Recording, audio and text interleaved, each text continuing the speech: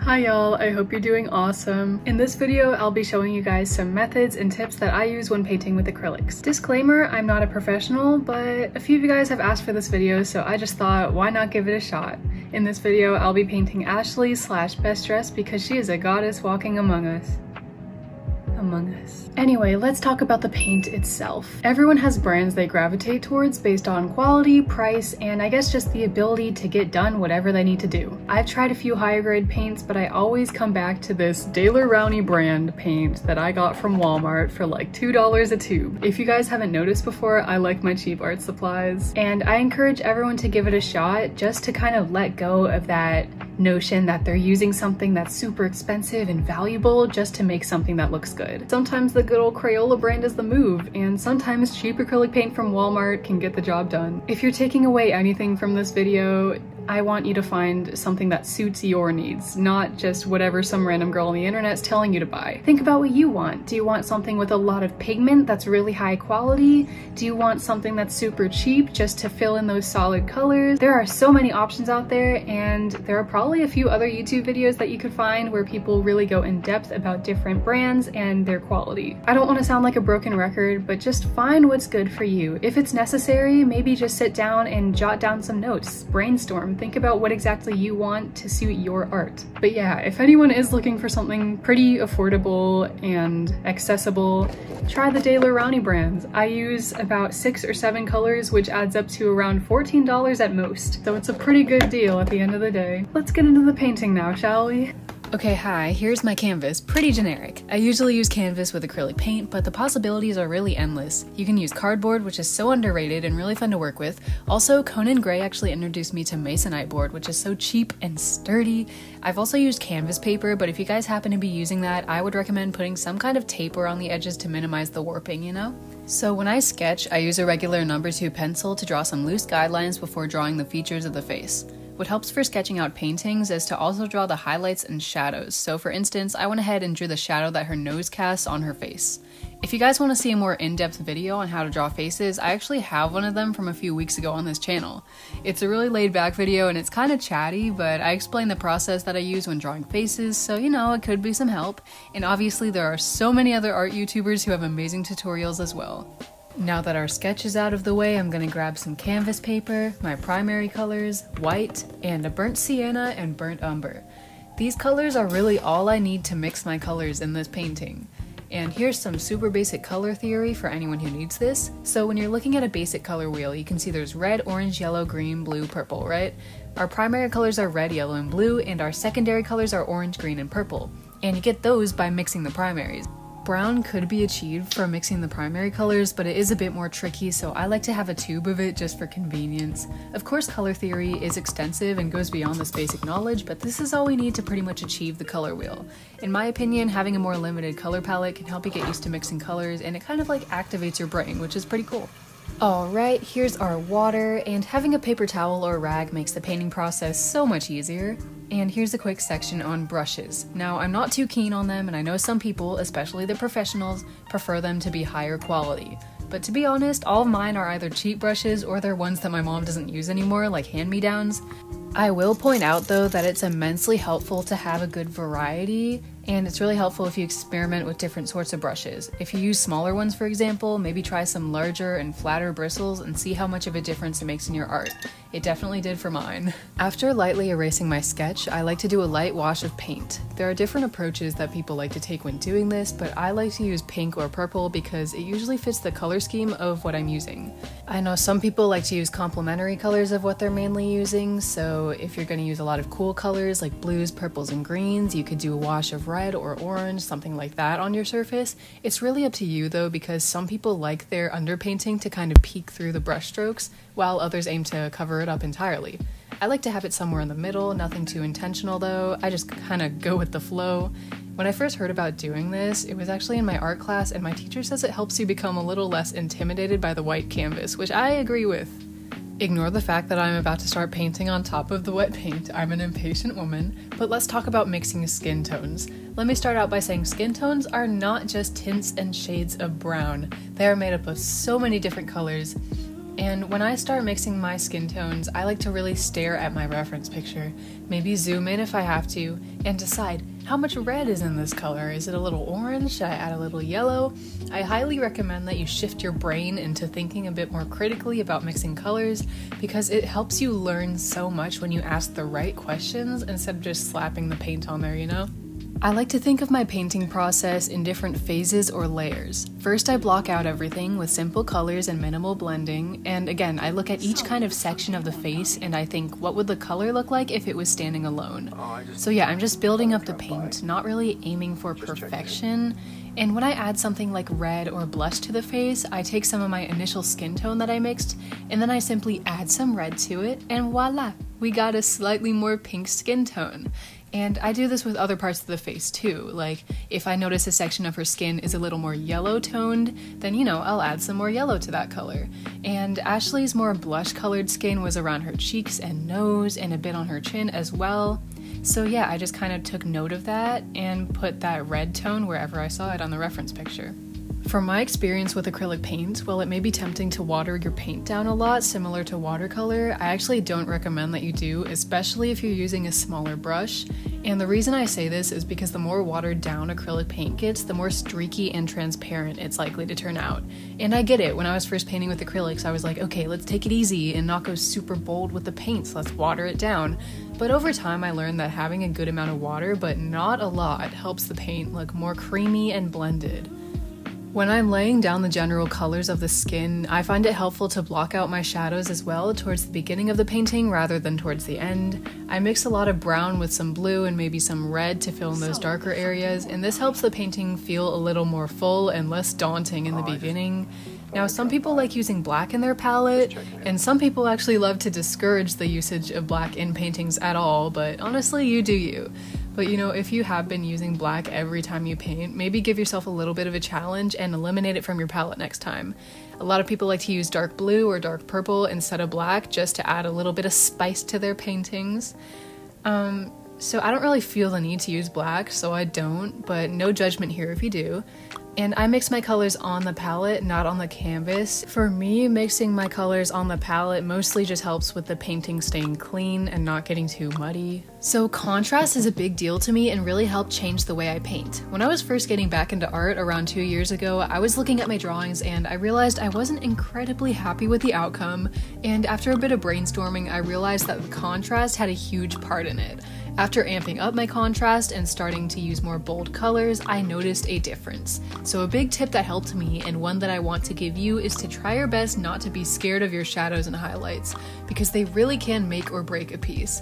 Every time I paint, I really hone in on where I see dark areas and then amp up the lighter areas and highlights, so there's a lot more contrast going on here, and the painting doesn't look as flat. As we're easing into that second phase or layer I was mentioning, on the face at least, right now I'm focusing on getting accurate colors and really pushing that contrast. And I'm just rendering the piece a little more and trying to get that perfect blend. Now you may notice another brush is starting to come into the picture. This brush is a pretty cheap one, I'll admit, that at some point over summer I absolutely ruined while working on a project, and I decided this from here on out will be my dry brush. Now, you may have heard of this before, but when you paint with acrylics, there's this blending technique where you can take a dry brush right after laying down your paint while it's still wet and going in circular patterns to really blend it out. I like to think of it as blending out makeup, it's pretty similar to that.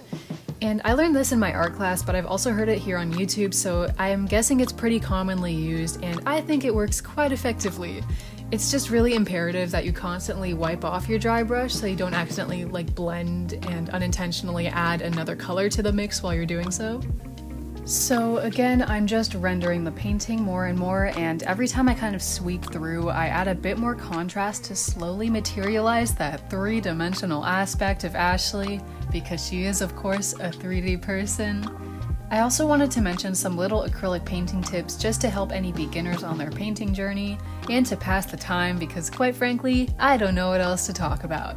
First off, number one, the white of people's eyes isn't actually a solid white. You may notice I mixed a little bit of light blue for the eyes, but I'm actually going to go back and add some other kind of off-white colors, so maybe some white mixed with a bit of each of the primary colors.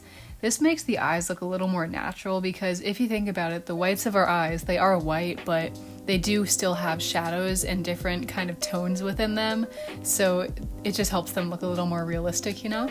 Number two, don't try and rush your painting. I know acrylic paint can be fast drying, which is a little overwhelming, but rushing your work may not be the best way to address that.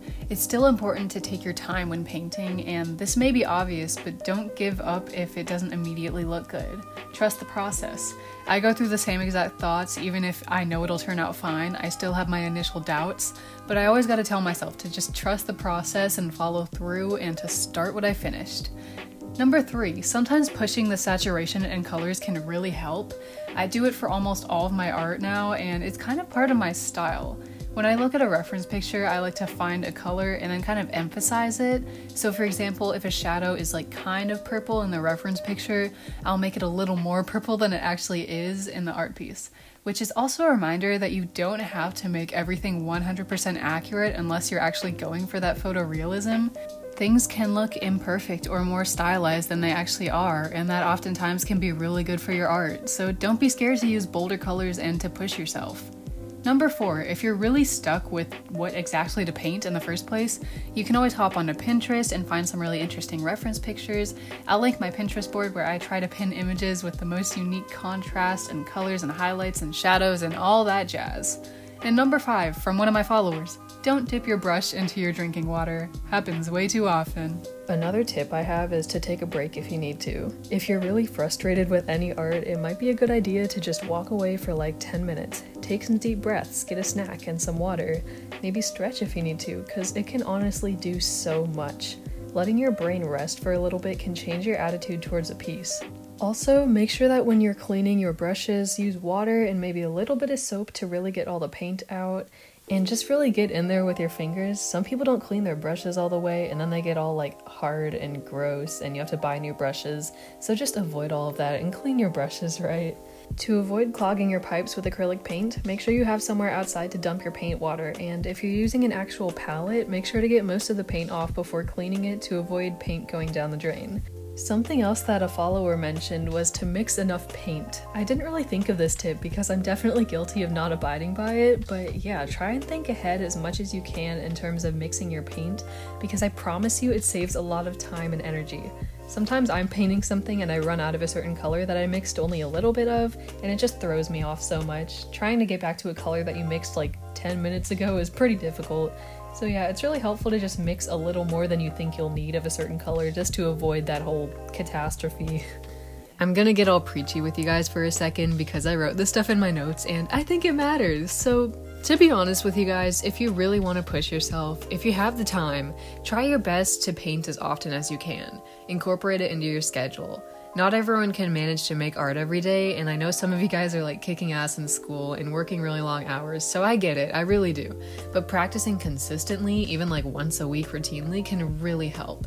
If you're like me and you need to plan out your days by the hour instead of just making a list of general things to do, put paint on that list. And if you need help staying motivated, I'm sure this is obvious to some people, but maybe not everyone. Watch other artists' content. Watching other YouTubers or documentaries about different artists gives me this different kind of drive.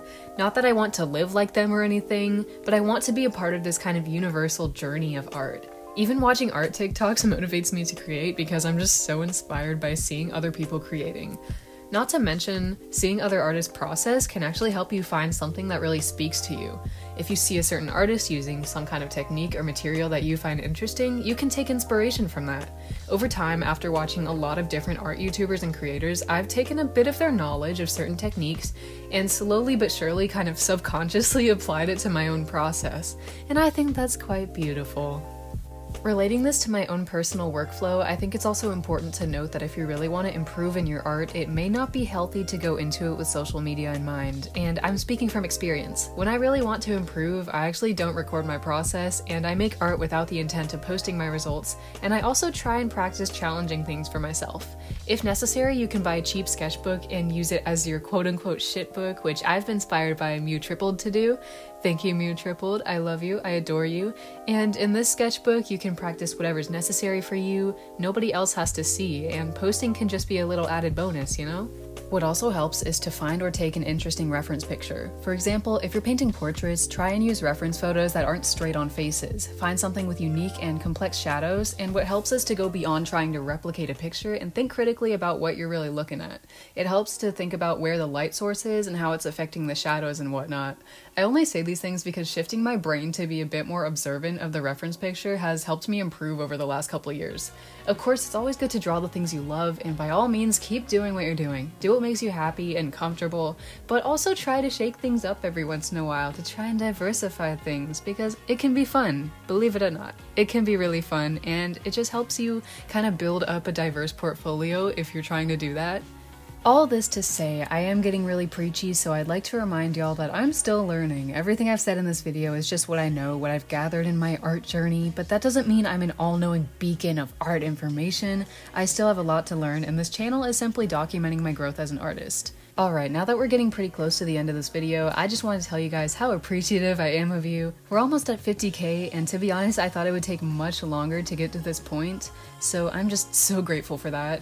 I also have some big plans for this summer, including prints, more shop stuff, and some earrings and stickers, and possibly a little Patreon if you guys are into that. I don't want to get ahead of myself, but that idea is very cool to me. I hope that this video has been helpful in some shape or form, and I hope you learned something if you're starting out with acrylic paint, or if you're already well versed, I hope you just enjoyed watching at the very least. I love acrylic for so many reasons, mainly because it's just so fun and accessible, 10 out of 10 would recommend. All right, here's the big reveal, the finished painting. Thank you guys so much for sticking around. I apologize if this video got a little ranty, and I hope you have a wonderful rest of your day. See you soon. Love you so much. All right, bye.